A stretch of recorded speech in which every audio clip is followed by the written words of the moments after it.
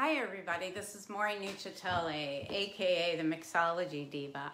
I'm glad you could join me tonight. I'm here to teach you some bartending basics and some maybe some insider tricks and tips on how to make some fabulous cocktails. Um, if any of you tuned in last week, we reviewed, um, let's review some of those basics that we went over. Um, we went over glassware. Today, uh, you'll see a lot of times um, up cocktails, martinis in the classic martini cocktail glass and in coupes and they look really beautiful. I have a soft spot for vintage coupes and apparently it was the perfect size of Marie Antoinette's um, bust. And I just want to thank those of you who gave me some feedback. Apparently it's not flattering for a woman my age to have a camera shooting up, so change that. And we're gonna try not to re go over too, too much stuff, and we're gonna keep it on 30 minutes. Um, I just wanna say hi to all my peeps watching. Hi, Sarah, thank you, my number one fan. We also talked about last week two different kinds of shakers. The Cobbler is the classic at-home bartender shaker. It's great. It's got a strainer built right in. You folks, if that's what you're using, just keep on keeping on with that. Most professional bartenders use a Boston shaker and this is used to shake any cocktail that has a mixer. If it has only booze, like say for instance, a Manhattan or a martini, it is supposed to be just stirred. Okay, and we made a Manhattan last week, which was um, really great. Some other glassware, your classic rocks glass, your double old fashioned, and um, these are really fun to put drinks in. I also said, please use clean ice, change that filter. And I made um, a special cube for those of you who just like your bourbon or your scotch on the rocks, the large cube is really great for not diluting that, okay? All right, and we also talked about making some simple syrup, and this is a classic um, ingredient whenever you're making a sour mix. Um, it's a one-to-one -one ratio of sugar and water in a saucepan. Turn on the heat. As soon as it dissolves and it's clear, you're done. Okay, we'll put that aside. I've already made mine. Um, I also suggested using these pour caps when you're making a bunch of drinks.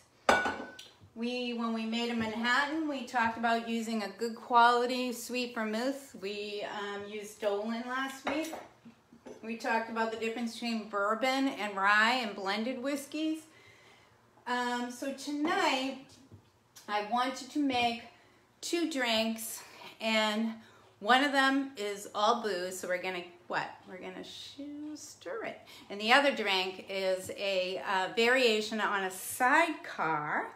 And a side classic sidecar is brandy, triple sec, or Cointreau, either or. And it's um, lemon sour mix. It's shaken, served straight up with the sugar rim. But what I came up with, giving um, Autumn and all the apples, we're going to make it with, instead of brandy, apple brandy, known as Calvados, okay? So the orange liqueur can either be Cointreau or triple sec. We're gonna make fresh sour mix.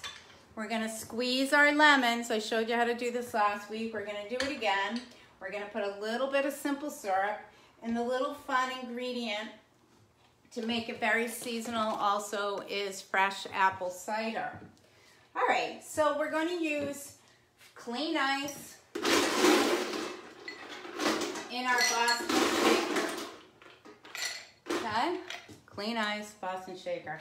Now, the recipe I also suggested instead of using a jigger to use these little cool measuring cups where you so easily see a half ounce, one ounce, three quarter of an ounce, okay? I'm going to use the clear one tonight. So look how easy that is to see. Two ounces of Calvados. We're going to pour that right into the Boston shaker. I am just going to use triple sec. If you have Cointreau, use the Cointreau. We're going to do about a half ounce of the Cointreau. And we're going to make our lemon sour mix. So remember I showed you um, cutting off the little nipples on either end of the lemon, cut it in half, take our handy dandy squeezer. It's better to do this over a larger um, or dish. And there's a strainer built in, so hopefully the seeds. So we're gonna do one and a half ounces, yeah, short a little bit, of fresh lemon juice. Okay. And I am one for using uh, strictly fresh, fresh, fresh ingredients.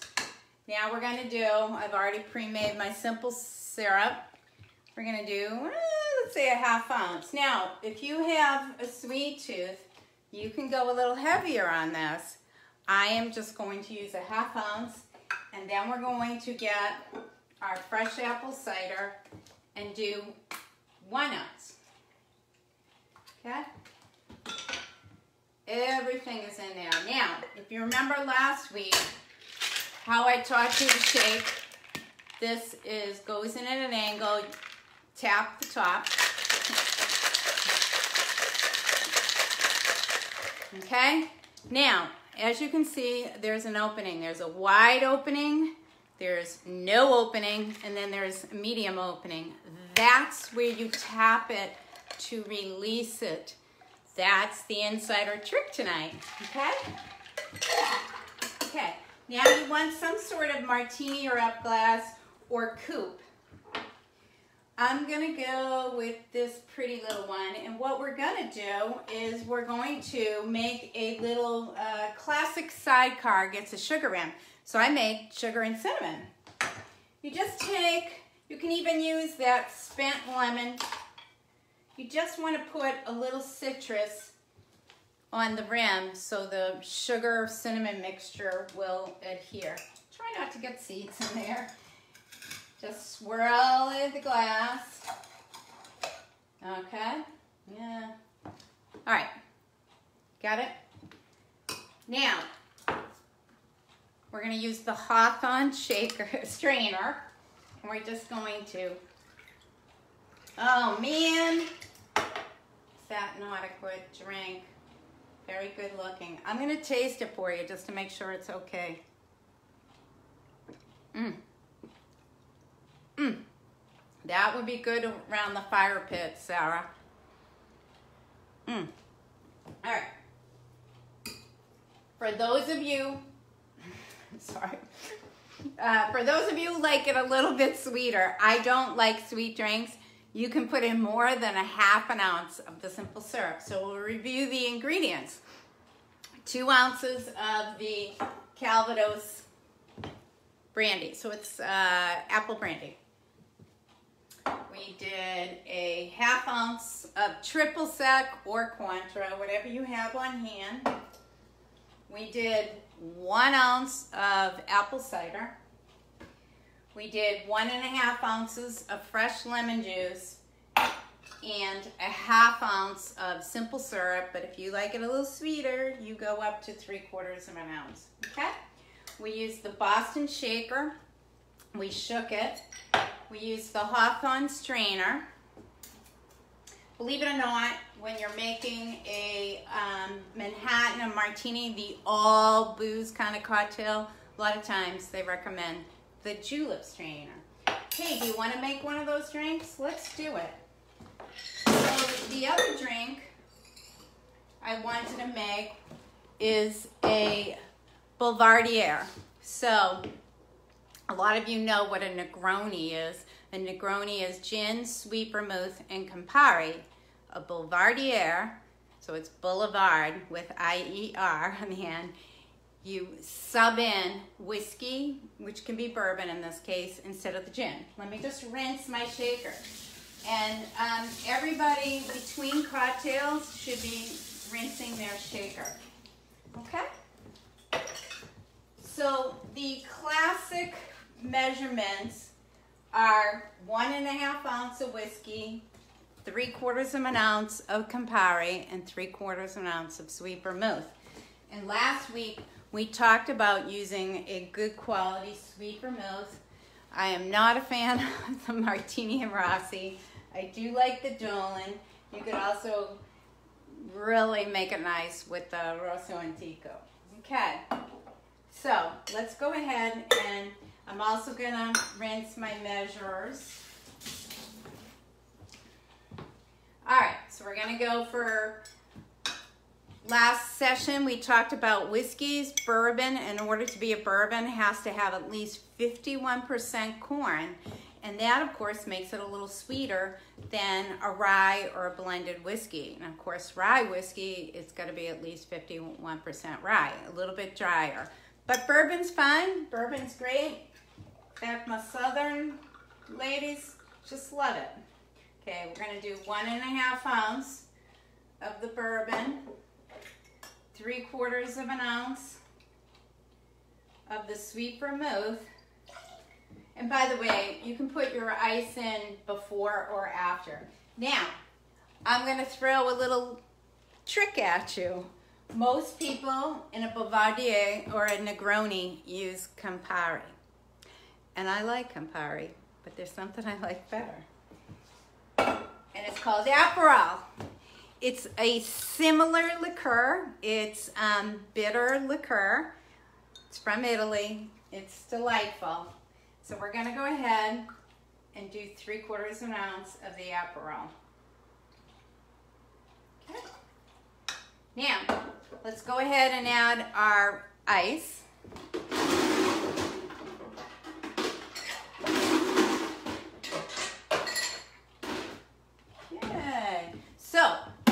What do we know about this drink? It's all booze, correct? So what are we gonna do? Are we gonna shake it? Mm, really shouldn't. We should be stirring this. And I, over the years, have discovered many um, people do like their Manhattans, their Martinis, their Rob Roys, their Negronis, their Boulevardiers shaken because they like when the ice splinters and leaves little shavings on the top of the drink. And that's fine. you just want to accommodate people and have a drink that they like, right? But classically, this is how it should be made. I'm making a mess here.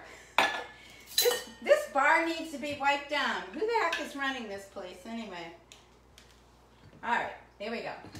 Now, you could go, you could go with a coupe for this drink or a martini, whatever you have on hand. Once again, I am just such a sucker for these old vintage coupes. So um, I might go with that. All right. And once, if you got the right twirl down, it should be the um, bar spoon should be loose in your fingers and you should just twirl away. Okay? Now, you probably don't have it, so you could use either or, but classically a um, stirred drink should use a julep strainer, but if the hawthorn is the only one you have, means use it. Um, so this is a really nice drink for people who like whiskey but want don't want to just drink straight whiskey or bourbon. Um, and what I like in this, it's recommended a lemon twist, but I like an orange twist. So last week I taught you how to make a twist. I'm going to show it to you again. Use a good sharp vegetable peeler peel a piece, and this even when you're doing a lemon, um, so about a size of a Band-Aid, okay? Now, this is the side with the oil. this is the white pith that's bitter. So we want this side, we want to crack it horizontally to release the oils. Then you take the oil colored side and you just go around the rim, okay? And actually I'm gonna float it the other way. All right, once again, let me taste this for you. Mmm, love that. I love bitters, Aperol, all those kind of things. Mmm. Delightful. These are really nice drinks for the fall. So we have the Calvados sidecar. And if you want to get fancy schmancy, we could also put a um, lemon peel in that drink. Or, hey, do any of you have some um, dehydrated apple slices maybe? I know a lot of people eat um, dried fruit like with their nuts for snacks. That would be a really cool garnish. I'm just I'm trying to make a lemon twist here out of a spent lemon. And I'm just cutting off, all right, so I cut off all the pulp. And once again, when you twist, you want this part to squeeze um, the lemon oil or the orange oil. All right, so let's review our two drinks. We have a Calvados Sidecar, and that is with Calvados brandy, orange liqueur, apple cider, fresh lemon sour mix, a little bit of simple syrup. We shook it, we strained it, we made a nice little sugar cinnamon uh, mix. We rimmed it and we served it in this nice coupe, the Boulevardier. We did bourbon, one and a half ounce, and then the sweet vermouth and the Aperol or Campari is three quarters ounce each. We stirred it, we strained it, we put a nice orange twist in it. Voila. I did want to show you this one thing. Um, for those of you who just like your bourbon or your scotch or whatever neat. There are um, these nice silicone ice cube makers um, that make large rocks. So sometimes I will serve some of my specialty drinks made with whiskeys and whatnot over one rock so as not to dilute the drink too much. All right, so we have gone over a bit today. I wish this were interactive so I could hear your questions. Last week, we talked about a whiskey sour and we made it with fresh lemon juice and simple syrup. And I did say you could also add a touch of dried egg white powder to froth it up a little bit and I just want to tell you, I tried it out last night. You can do this with any sour mix. So we did two ounces of our booze. That could be two ounces of bourbon, two ounces of vodka, two ounces of gin. Then we did one ounce of French, fresh lemon juice and one ounce of the simple syrup. We put it in the Boston shaker, we shook it, and we served it in a um, double rocks glass, double old fashioned. But if you like the frothy head, a half teaspoon of egg white powder, and it looks like this, just a half teaspoon. Put it in your shaker, shake it, shake it, shake it, and when you pour the drink, you'll have a little bit of a nice foamy head. Now, um, some old school bartenders or craft cocktail bartenders are using raw, fresh egg whites. Um, uh,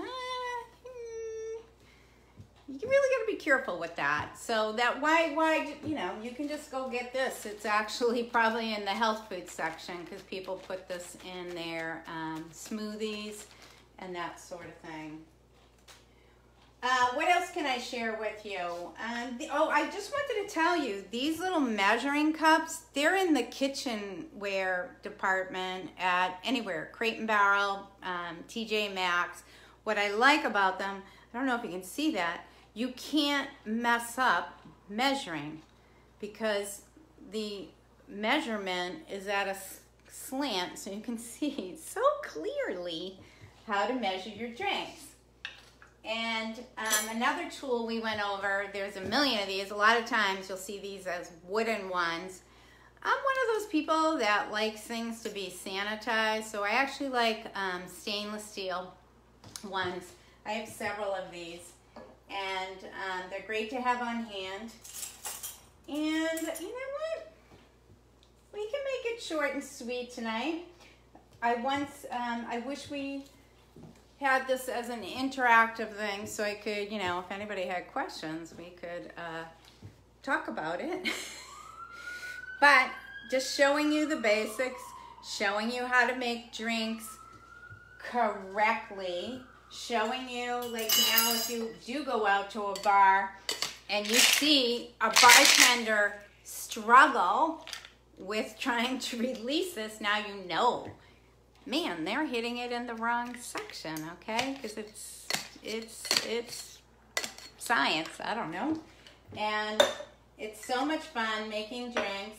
And I'm gonna try to do um, at least one or two drinks, probably two drinks, every Thursday and go over some basic cocktail preparation techniques, learning how to make drinks correctly, once you get the basics down, and if any of you are cooks, you know this, you just um, ad lib after that, and you know your palate, what you like. You know, I like things tart and bitter, so I'm gonna cut back on sweeteners.